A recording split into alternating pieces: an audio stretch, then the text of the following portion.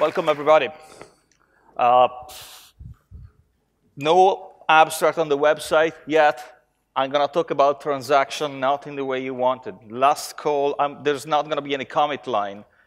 If you're looking for that, last call for leaving. Otherwise, you're going to be introduced into this wormhole by, yes, by me. How the story starts. I just wanted to send a payment to myself. Or just wanted to understand what happens when I send a payment to myself. So I got into, yeah, my personal private session of event storming. So I started to look what, uh, what happens when I just uh, send a payment to myself. So I log into the banking system, and unfortunately, every time I do it, this puts me in a bad mood. Reason, well, that's a, that's a common practice in banking system to say like, well, new website. They just change the CSS of the homepage of the login screen, and that's it. Then uh, Anyway, we just saw what is the basic of this one. Orange is domain event, verb past tense. But purple, well, purple is kind of interesting. It just uh, make us free to express ourselves.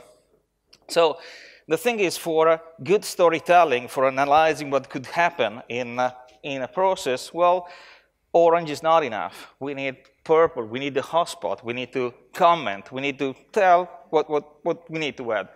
So, okay, I'll, now I'm logged into my banking system, and the first thing I get asked is just, uh, please choose your bank account. Which is kind of annoying since I have only one bank account. So I get proposed a list of one. I didn't want to include the screen because the bank was going to be recognizable.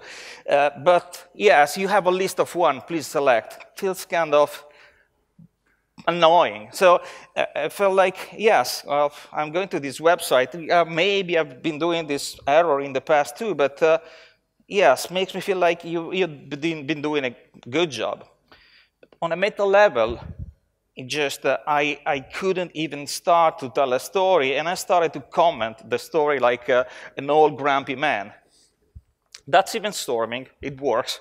It just uh, you can't keep your mouth shut once you start seeing the thing like yeah, no, no, no, no, that's not how it should be. So anyway, I move on. I still want to pay myself, and just uh, I need to select the payee. Well, we have another problem. No auto-completion. I just try, no, no, please, you go to select to another screen, and again, I need to comment. Like, if you make me choose in three, four different screens in order to find the payee, please, not, not. We are in 2017 now. Please, not anymore. I am over yet. Then what else? What, or you might need to enter the payee data. And uh, have you ever got into one of these exceptions? Like your IBAN should be exactly this number, number of characters. There's one thing that really bugs me so much, which is, well, I normally choose the IBAN from a document where it's printed for a readability, I mean a PDF document, then it is separated. I cut and paste and then, oh no, exception, or they cut away my last four or five characters. So every time I make a payment, I need to adjust everything in order to make it work. The pro tip, humans don't enjoy removing spaces from IBAN strings. 2016, we still have this problem. Then, what is the next thing to do, you just say, yes, okay, let's do it. Oh, one final round of authentication. So yes, yes, okay, let me, sorry. Oh, oh, oh, gone. Let me try again. Okay, yeah, yeah. So I have this problem too. And uh, yeah, thank you for making me feel old every, try, every time I try to make to make a payment. It's just like this, this really drives me nuts. Like uh, this little made in China device. And the other thing that drives me nuts is I know you're a bank. Please don't tell me that you couldn't buy anything more readable because it was too expensive. You're a bank. I'm, a, I'm expecting you to have money to pay something more expensive. Then, but what is the, I do everything, what is the thing that I get? What I get, oh yes, your payment is going to be processed by, yeah, 17 or 5 p.m. Yeah, exactly what I wanted. I, I mean, it's, it's 8 o'clock in the morning, I want to make this payment, and then, oh, yeah, thank you, but we are in internet time and let's wait.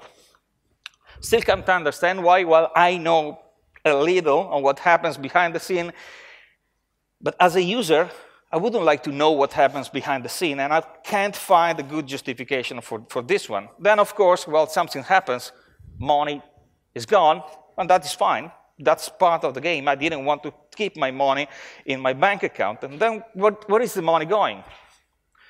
Money is going exactly here, in this place, which is not in this dimension, is not, is not in my bank account, is not in somebody else's bank account, which would have been me any, anyway in this scenario. So just people I mean, it's, it's, it's, so funny because scientists have spending so much energy trying to solve problems of traveling in time while accountants and bankers solved this problem many years ago.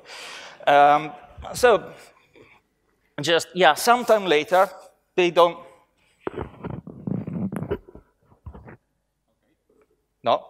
Better or worse? Okay. so it's not this, it's me. okay. So, well, sometimes later, well, just a couple of working days, but you don't know exactly what is a working day. Uh, and so, well, I cannot guarantee the time is going to be happening. Uh, then what happens, it just, just credited to the, to the payee account. But usually, well, the payee doesn't know about it. And, uh, well, side story, after three years, my bank finally implemented some kind of notification. Well, after three years and quite a few bugs and quite a few uh, remarks and phone calls and so on. Anyway, I finally had the notification working yesterday, so I'm so happy uh, it, it is working. Well, it's a mock notification anyway. Then what else? Well, since I don't, didn't have this, the only thing I could do is just like, well, I need to log into the receiving banking system and uh, so as a payee, oh, should I really log into the banking system to check if everything goes right? And then I try to log in in the banking system, and of course, yes. Of course, and then how do I feel? Well, I feel exactly like this at that time because it's, it's, just like I can't really understand it. Then finally, after writing all the, the, new password, and I'm pretty sure I will forget it because I had something else in my mind. I just wanted to check one thing and then, oh, no, no, you have to do this one be, be behind, before that. And then you just, uh, what the hell was I doing? Oh, yes, this. And, uh, and then I didn't have changing the password in mind. So I was just writing wherever, and I'm sure I'm to lose the sticky notes or, or the other thing, or maybe I'm just working on a mobile and every, everything like that. So that, that's the situation at the end. And please, please, everybody working on security rules and so on, have a look about context switching because I am coming to your website with one purpose and you're asking me to do something different. Then, well, cherry on the pie, you go there, you finally see the payment, and you discover that the payment is not exactly what you wanted, because in some cases, well, especially international stuff, you have these ghost fees and in some cases. Well, I made my calculation. I counted the numbers. That's a great result. 13 events, 14 hotspots, what whatever. just, just a great result. And then, well, what's the tune in, uh, in banking? Oh, we are going to be disrupted by fintech. That is the problem. So how do I feel at the end of the transaction like this? Well, I feel more or less like this. If you remember the movie, I feel like... Uh, this. I feel I'm gonna find where you live. I'm gonna change your main door lock every end of the month when you're carrying bags and it's raining. For security reasons. And now you cannot discuss with security reason. It's just like, uh, what, what, did you do that? Well, for security reason. And just, uh, and just trumps everything. No, Okay, that was the intro. About me, uh, I have a bad attitude with bad software. I'm running my little company, Avanscoperta, and uh, I'm making a mess with sticky notes and give it a name. And uh, then it, this is event storming the thing that I've been doing in the last two or three years in the domain-driven design field, but not only. The, the thing I want to talk about now is just how the two things get together. So let's get back to the wormhole and to the original title of this, uh, of this talk. It's just, uh, what is the problem with that? It's just, uh, the problem is just that we think that we know what transactions are. Uh, we are in the domain-driven design community. We, we think we know bounded context, then we don't realize there is another bounded context which is not before two, between two competing uh, domains or a portion of the, of the problem space. It is us. It's the fact that the really specific term transaction is damn ambiguous. We don't realize how ambiguous it is because whenever you, we say transaction, we think like, oh, yes, we, it, it, has to be consistent. Uh, we need to use a database transaction and so on. No, that's actually not the point. I didn't say database transaction. I just say transaction. Transaction is, is a human activity, an act of process, an instance of transacting. Uh, a communicative action of our activity involving two parties or things that can reciprocally affect or influence each other. I don't know if you've ever been doing stuff like, uh, yeah, uh, paying for a big load of drug with the um, Russian mafia or Mexican mafia. But if you do that, you just put stuff in a bag, and then you have the money in another bag. You have your, your guys behind uh, pointing guns with, with the, uh, to, to the other guys, and this is your transactional context. Then you, you, you, open the bag, okay, it is money. The other guys are just checking the dog. Mm, mm, yeah, good. Okay, so if anything goes right, you close the transaction and you go safe home. This is a transaction. If something goes wrong, yeah, bloodbath, usual stuff. You've seen it in the movie. Of course, we software guys don't do exactly that, but yes, but this is a protocol we have a unit of work and something is happening inside that. But when it comes to the banking transaction, the thing is, it looks like, like something different. Looks like there are two part of the space. That's a very smart idea, trying to use the laser. No, yeah, actually you can, can see it. There is something here which is, oh yes, everything is transactional here. And here, this red thing, what do you think it is, this red thing? It is me. It is me that I, I had the money on day one. I didn't have the money on day two and three, and I had my money back on the. How, how can, can you talk about transactional consistency? Where's my money on day two? I don't have my money. It's from me to me. I don't see my money everywhere. It is somewhere over there. No. So the thing for me is just uh, in many processes, we have this idea of keeping this under control. No, but the whole is not transactional. We already know about it. If you are in this conference, it's totally no surprise. We, we, know, we, we had the Udi's talk that was talking about uh, something similar, and we know the notion of eventual consistency. But it's not eventual consistency that I, would, that I want to talk about. I'm actually worried about one more little thing, which is this one. The user is part of the transaction. I am this little red thing that is passing across the time and space, which is left in an inconsistent state for a couple of days. And my problem with, with this one is just, uh, it's not my banking system. I can change bank, no problem, or I can use a password manager.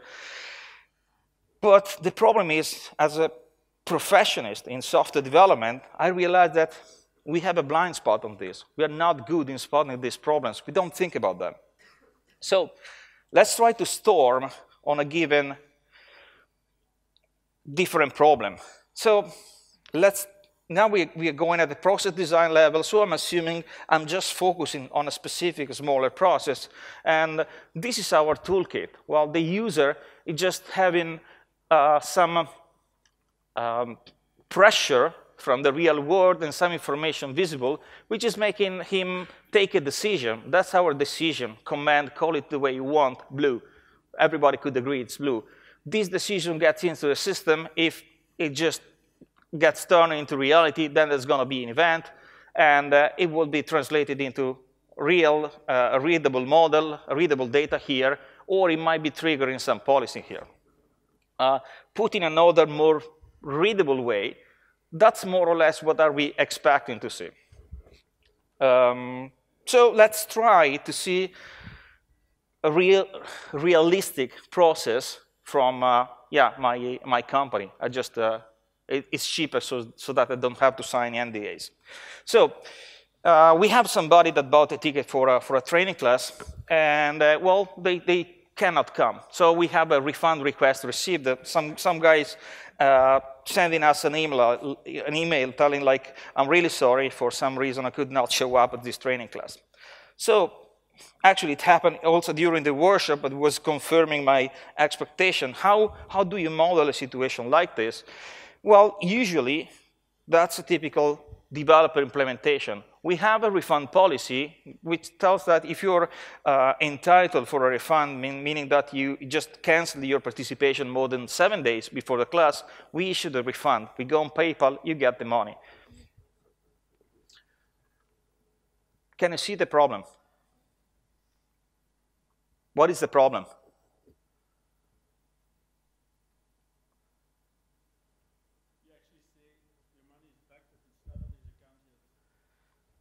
Maybe that's one thing, but no, actually, oh, well, it's in the PayPal, so it's not out, out of my responsibility. No, the problem is, is in our uh, blind spot. Let's try to see with a different heuristic. I would like to see for a user these three things.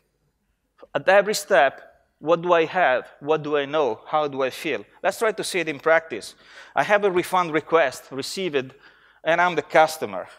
So what do I have? At this moment, I have a ticket. What do I know? I'm not going to use it. And how do I feel?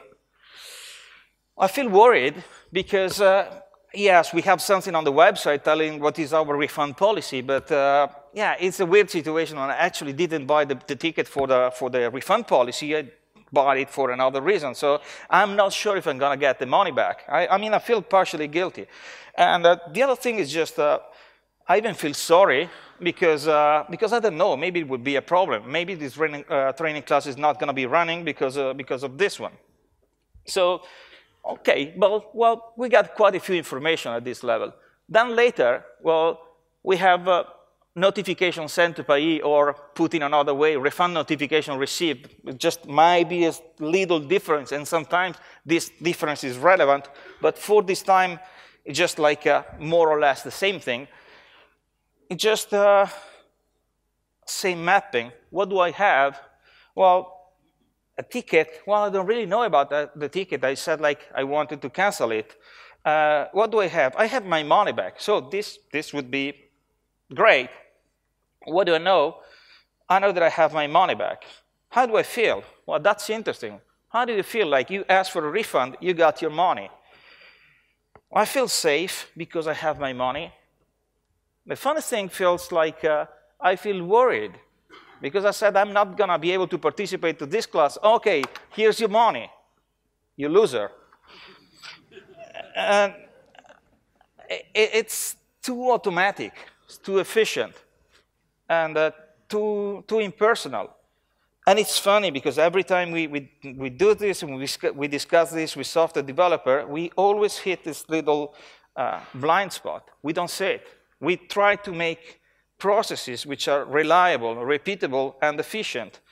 And uh, when we try to see it in some other way, well, the answer we get is always this one. I am not a user experience expert. That's not my job. I am just a developer. I am part of the development team. This, this is not my problem. No, actually, when we do event storming, when we are storming around the problem together, situation is slightly different. It's just like uh, everybody is a business analyst. Everybody is a user experience expert. Because what ends up being uh, event storming, the moment you work together on, on, the, same, uh, on the same problem, event storming becomes a platform for self-organization. Just uh, it's just uh, three, four, 15 people in a room trying to solve the same, the same problem. Think mob programming if you want. It's just problem solving together without so many roles along the way.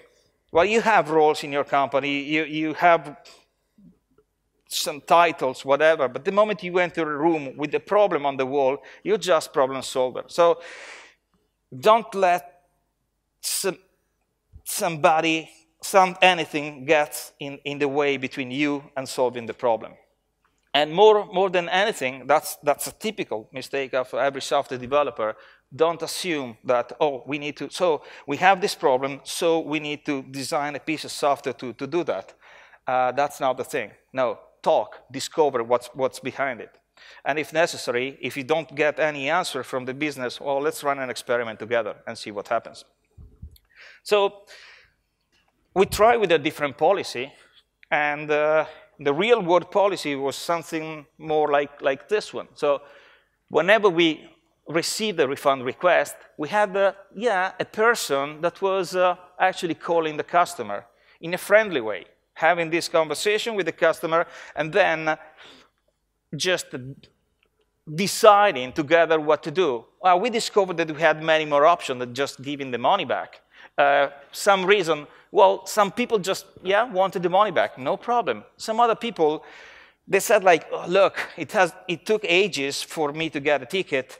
Uh, can you just keep the money and reuse the money for, for the next one? I, I, have an impediment for this date, but I would like to keep it. I don't want to go back to my, to my HR department.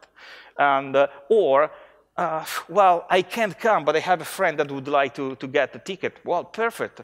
So uh, that conversation opened up things. But in general, the thing is, talk to the business. The business is more sophisticated than, than one rule. And uh, the, other, the other thing that, uh, that we had in some cases was, uh, okay, this is the rule, but as a personal favor, we could do that. And the exception feel like, great, actually Amazon is doing a lot of stuff like this.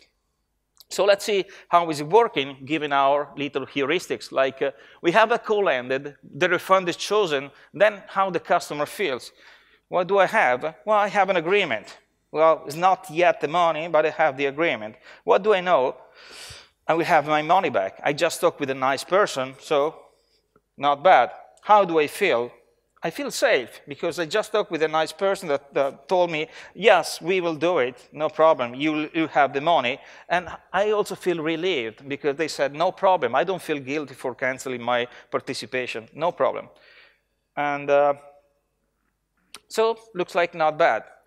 On our side, well, you can the tip is you can model multiple users in this, uh, in this way in every step. At the end of the call, how do we, what do I have? Well, we have an agreement with the customer. So we have a duty, something, something to do uh, with them. And uh, what do I know?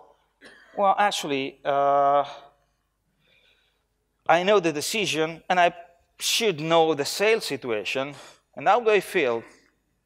How do I feel actually depends on sales because if, uh, if that was a critical uh, seat to run the training class or not, that would have been dangerous. Or if we are in safe area, everybody's knocking in our door to sell, uh, to, to buy this, this ticket, then, it, then it's actually no, no problem. But uh, that's a part that might be a little bit mysterious. Is there anything that we can do about it? Actually, yes. Whenever we have something, or maybe it's a decision about the, what is the strategy to adopt during the, uh, the phone call, well, we can do something about it. Usually, it's just uh, making those decisions, those choices easy. So in this case, well, here's exactly where the read model comes, uh, becomes useful.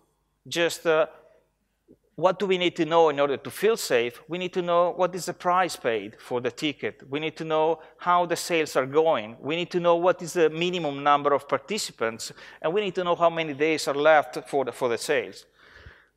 That is the important thing. The read model is not just exposing the data. It's a decision support tool. It's just a, a user has a problem at the specific point of, of the flow can we make this problem simple? Can we make, can we make this problem so trivial that it's going to be almost non-existent? That is the role of the, uh, of the read model. So in general, the big, the big shift for me when, when I started to design system using, using this approach is just like, I don't care what is the data I have in the database. I will find a way to find it. But I'm focusing what is the problem of this person at a given moment. Can I make it simpler? If yes, I will. Then, of course, we also do this, this part. But we, we just start, we, we choose the refund. So our policy is when we say that we refund the people, we actually re refund them. And that's interesting because in many cases, well, actually, it, it is still a choice, kind of obvious, but uh, let's make it explicit because, uh, yeah, you never know. Uh, in this case, doesn't sound so smart to make it, uh, to make it explicit, but in practice, you want to know when they are all the decision, the key decision point in your, the business of your company. Then, yes, we pay them. For the user, what is the result? Notification sent to the payee. So what I have, my money back. Good, I receive it. What do I know? I have my money back and no problem. So everything is okay. How do I feel? Well, I, I am safe. And now I have my money. Well, it, it is on PayPal. It's good enough. And uh, grateful, relieved. I talk with the people. I had my money almost immediately. Sounds like, sounds like a good job. So yes, a lot better. And of course, we need also to free up the seat. So when the refund is chosen, we have another policy that says like, okay, that's free up the ticket. We don't have zombie participants to our trainer. If somebody's waiting, we need to free it up. What is the problem? Well, we still have some problem here that uh, we are still a little, little uh, blind. One of the problem is uh, we don't have an automated payment yet. And uh, so we needed the decision first. So the trigger was not the request from the, uh, from the customer. It was our decision to refund that that was probably triggering the process. But we are a small company. We don't have the automation over there. We didn't have so many refunds to justify the expense for the automation, so we have a human. And uh, what is the problem for the, for the human at this, uh, this place? Well, humans take coffee breaks. Humans take uh, holidays, take a day off, or uh, actually the person making, making the payment was working only part-time. So yes, we're making the payment, but well, actually we are queuing up the payment when somebody is, um, is available. And here we're facing a lot of, another interesting little problem, which is uh, there is, a, whenever we create an expectation, there is an implicit deadline. You told me you were going to pay me, I'm expecting you to pay me within a given amount of time. And uh, this implicit deadline, maybe two days, maybe one day, maybe five minutes, because you said, I'm going to do it immediately, and then, then you, you just go to the restroom, and then you forget about it, you start another, another thing, then, then this is gone. But this implicit deadline, in terms of the expectation of the user, it is there. And, uh, well, good thing, we can model it with domain events, too, and see what happens when we try to mess up with sequence of events. So if we pass this implicit deadline before the refund is issued, well, the situation for the user is slightly different. What do I have? A promise. What do I know? I haven't been refunded. How do I feel? Well, kind of worried. Should I remind them? I mean, you told me you were going to send me back my money, but you didn't. And it, I, I don't really like reminding people that they, they, they have to send me money. So this is putting the people in a pretty annoying situation. So really not good. But the thing is, well, we were able to visualize it. Unfortunately, that was the example we had with, uh, uh, with PayPal, which, is, which has a good property of sending, well, immediate notification. If we had normal banking instead, like uh, the refund is chosen, we go to the refund policy, and, uh, well, that, that means also you have to wait till Friday due to our part-time uh, uh, contract. So the person go, goes on the banking system, enters the payment, the payment is in the bank, and uh, whoa, wormhole. That's where we are. We're getting exactly there. So at this level, refund chosen, implicit deadline passed, the thing is, I promise, what do I know? I haven't been refunded. How do I feel? Worried. But now, I logged into the banking system and I discover the promise is unfulfilled. What do I know? I haven't been refunded. How do I feel? Well, remember how I felt. I feel like this because I even have to log in into the banking system to discover that I haven't been paid. I'm, I'm, I'm piling up crap on top of an existing crap. So when we talk about this composite modeling, then uh, one of the one of the weird things is just uh, we are not totally in control of the whole flow we can control the mood of something, but uh, there's something which is part of the mood uh, that, is, uh, that is not in our control, but is part of the user experience. I mean, if a user is a customer is pissed off by something that is the banking system, but this is triggered by something which is our policy, well, they're not going to be entitled to distinguish uh, that, oh, this feeling that I have is just coming from the banking, not from the company. So, well, let's, let's make a difference. They won't. They're going to be pissed off no matter what. But that's not the problem. What the thing that I wanted to, to talk about was the fact like, that we might have a good solution, a good tool to play with that. So the thing is, if we start, if we visualize the sequence of events, we can start to play with this and try, start asking ourselves those little, three little questions like uh, what do I have, what do I know, how do I feel at every step. And this is just uh, changing the way people might think about the process. It's not, it's not that. It's not really groundbreaking. No, it's nothing new.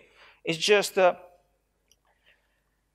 I haven't been invited in anything. It's just uh, nothing really special. It's just uh, I tried to find a way to make this uh, thinking easier given, given a platform. So it's, it's more about removing impediments to this, uh, to this type of thinking. This is relevant because uh, if, if there is one single factor of, uh, to determine the success, success of a given, uh, given project, it's not that much about performance. Performance is one of the things that we like to see as a critical factor, but it's mostly the user experience. And user experience is not exactly what we would like it to be. So when it comes to what we do in, in, uh, in event storming, it started to become something uh, really different. Not exactly a software development activity, but uh, a process of awareness around what is the software that we are, build, that we are building. So removing impediments like roles, processes, contracts.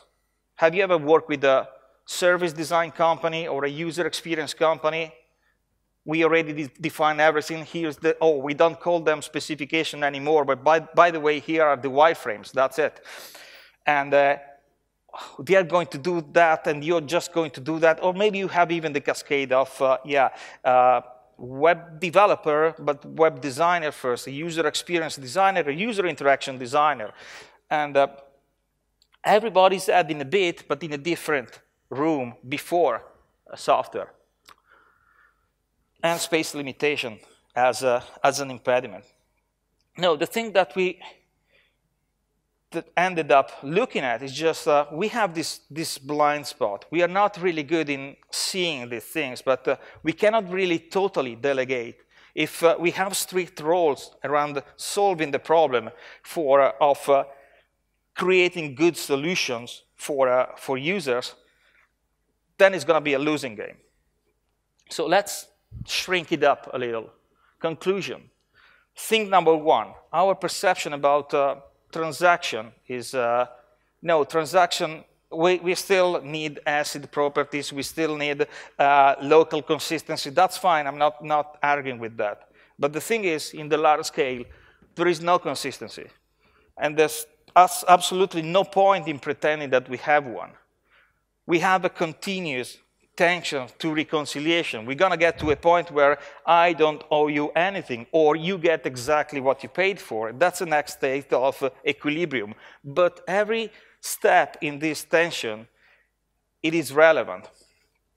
What we call transaction in a non-software world, in fact, are processes and uh, with variation, with, uh, with rules and intermediate state. And some of them cannot roll back, cannot be rolled back. Like uh, if uh, it happened once with a training class that uh, we decided to cancel the training class and we, we, were just tweeting like this date is no longer coming. And then we received an email that was yeah written at the same time we're to buy four tickets for this training class. And this tweet could not be rolled back. What is how can i roll back something like that we ended up doing yes okay let's cancel it anyway and, and reorganize it it's totally okay but thinking only in terms of strict transaction is not going to help you. What might be helping you, because it's actually not really that visible, is trying to make this global state visible. And for global state, I mean this one. Users are part of the state. Users at the given moment, they know something, they have something, or maybe they have something and they don't know it, like, like when you receive a bank payment without any notification. And these little friction are important. Like uh, you might even feel the need to tweak the time and reaction in order to provide a better experience, and that might be very important in areas that really make the difference. The other thing in, in this process is just like uh, what intermediate steps matter, and it might be really relevant. Well, to be explored, to be analyzed, to be tested, and so on. How do we, well, a way to, to see that Sometimes it's just like at every step, we might be saying like, okay, we have this one, that's the money we have, that's the number of people registered, and, and so on. So managing the progression, what is the global state uh, over there? It's not a specification anymore, it's just a tool for reasoning. We're just trying to make the topic of the conversation visible because somebody can see it and somebody else cannot. So we, you need to bring it to, uh, into light in order to have a facilitated conversation around it. And that's a part that, that maybe is surprising. Mood and feelings are part of the global state. If I have a software which is uh, piecing off users every time they use it, in, in, my company, I ask everybody else to put on headphones when I'm going into the banking system, just because I don't have a separate room. It, it just that that's not absolutely good, uh, doing a, doing a good job. But well, we actually don't look at it, but it might be not so hard. Just oh yes, at this moment, oh you told me that, but then he did that. Of course, I'm going to be pissed off. But if this is hard to see, then that it's harder, then we don't do it. Then it's somebody else's responsibility. Then, well, then another thing that was part of the discoveries of the, of the last year, maybe that's a little bit more than, than a summary. It's just like, uh, well, the good thing that we discovered about event storming is just like it enables cross-perspective conversation. So the fact that we start from domain events, the fact that we are describing the behavior of a big system in terms of narratives, in terms of storytelling, well, means that we can add every connotation we want to the conversation. And it's not like being fuzzy, it is just that we create the notation along the way in an incremental way, enabling exactly the conversation, the best conversation that could happen. So as a peach, I might say like, uh, well, event storming is my pizza. Uh, meaning that uh, you can add your toppings. You start with uh, domain events uh, along the timeline. That's going to be your tomato mozzarella. Then you can add, yeah, whatever you want, with the notable exception of database tables and pineapple. then, uh, if you want to see the, the menu of the different version of different flavors of event storming, but there's nothing like official uh, just, yeah, big picture, process design, aggregate discovery, service design. We did value stream mapping. We did retrospective. We even did the large-scale organization design. I even studied uh, history with my daughter. But you can actually do whatever you want because timelines and the, uh, and the sequence of events are just the building block of every story. And I don't know what's going to be uh, useful for you. The thing is just uh, forget orthodoxy, forget uh, we need to do commands before the aggregate and so on. No, you can make experiment. It could lead you to good conversation and could lead you to better, to better discovery. Unexpected places. The thing is, we would love to solve problems in a technical way but the moment we open the box and try to understand what the problem is, we have no luxury to choose what the problem is going to be. Anyway, I would feel like I would like to solve this, this problem.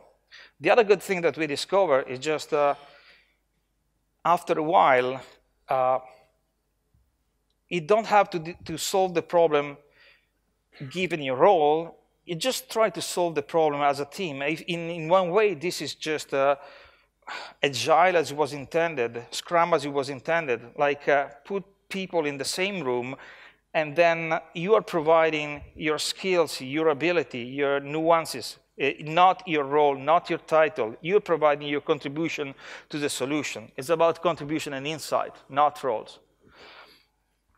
And uh, to tell it to software architects, because yes, I, I, still consider myself a software architect, I still love to find the solution to the problem in a way that could be coded. Uh, I would say that's not exactly the thing. I would say like, we are problem solvers, not problem pickers. Just if the problem doesn't have a solution which is branded like, uh, yeah, CQRS, event storming, event sourcing, or, or anything good technical. Well, let's find a solution anyway. Just try to understand the problem, and well, this round is going to be human. Next round is going to be software. Next round again is going to be user experience. But just solve the problem. This is what our work is overall. So I have nothing more to add to the presentation. I'm totally open for, for questions. And uh, if you want to know something more about event storming, probably the best entry point is eventstorming.com, which is just pointing to all the other links. And uh, if anybody is worried about it, I am still working on the book. It's going to be finished right after Game of Thrones is going to be completed. So it's beginning to become clear that there are three parties to a lot of important transactions. There's a hidden criminal enterprise on the other side of the world. And I think it's going to affect the way we, we design these things. Can you comment on that? Well, well, I, I, don't know if you had the name in mind, and I wanna I don't want to say this, this, name because I, I might be uh, afraid for my life. Um, but the thing is, the problem is still the same. We are just looking in a way that makes another type of solution more, uh, more natural. And, uh, well, to be honest, the, the, the evil empire is making, uh, is making uh, the job of many of us uh, uh, more, more profitable because, yeah, we, we, we, clean up some, some crap along the way, and that, that's actually a good thing for the, for the pocket. But in general, the, the, thing, the thing I've discovered is just uh, it is hard to see things in, in a different way if we don't have nothing to look at. And uh, the moment we look at things in a different way, something becomes relatively more obvious, uh, or then you need to, to make just the extra mile to make it less obvious for somebody else. But the thing is, after you see that, then, oh, what about this one? It's, uh, it's actually a path of a continued discovery. I don't want to add too many toppings on top of the pizza, but looks like every new recipe is, is kind, of, uh, uh kind of good. And uh, the thing is, we have been looking to the, to the project, to the, to the software that we were writing, too much software only, without uh, realizing that we are trying to help somebody. We are trying to make somebody uh, go home earlier uh, on, uh, on, in the weekends, uh, feel, uh, feel safe, not feel stressed about making a wrong decision. I'm actually trying to find a way coding in event sourcing, CQRS, designing sketches, whatever, to make somebody have a, an easier uh, experience as a customer, as a user, as an employee in the company. It's just, uh, there's no need to, to deal with unnecessarily complicated software. I know complicated software is cheaper, but uh, that's not That's not the goal. So I actually wanted to make a comment on the, the user experience side of things. So if you're a company that um, is ethical, has your customers' best interests at heart, then a lot of this, stuff makes sense. Um, there's actually an anti-pattern to this, and it's called dark patterns. Uh, it's basically um, user experience designed specifically to impede people from doing, you know, the thing that well, yep. basically. So it's not a question; it's just a comment that I wanted to make. Uh, well, uh, even even some some other gray area about uh, some bad user experience in, just in order to make you feel grateful when we relieve you from that pain. And uh, well, the thing I wanted to say two things. One, I don't want to substitute myself to user uh, to user experience designer. I've been working with them. They're, they're doing a fantastic job when they are around. We have a problem on the on the boundary because. Uh, um, yeah, they're still not we still haven't found the perfect way to, uh, to collaborate. The thing that I'm, that I'm worried about is uh, when the right people is not around, the right choices are not made, and uh, the impediment is not, is not there. Uh, the, on the other side, you just, uh, well, now I might get the, the, real deep meaning of this uh, of your question. If if you get into the dark pattern for user experience, you try to do evil things.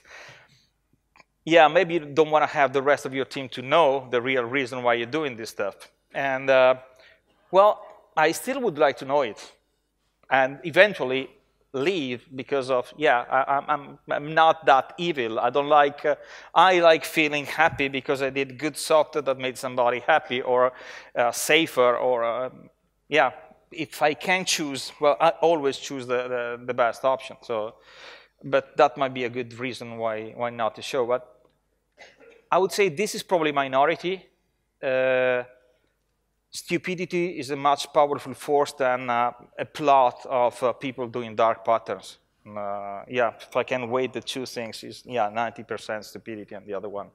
Or lack of budget or pressure, you, you know the thing, that people coming, going, nobody cares. Actually, pride is probably the good driver. The moment you're together trying to see what we are building, some bonding gets, uh, uh, gets established. Like, oh, we are trying to make this stuff well together. And it's like, uh, and it's just like cooking. Just you have guests. Oh yes, uh, you were coming last minute. I just take this pizza from the fridge. No, no, I just made this pizza. I, I, I, prepared the whole stuff, and I choosing this tomato, and it's good. And I'm gonna look at you while you're eating, and you gotta tell me that it's good because I'm proud of it. That, that's a totally different approach. You're gonna take care of this this thing if you are part of it and proud of it. But yeah, doesn't always happen market is big and uh, you can choose.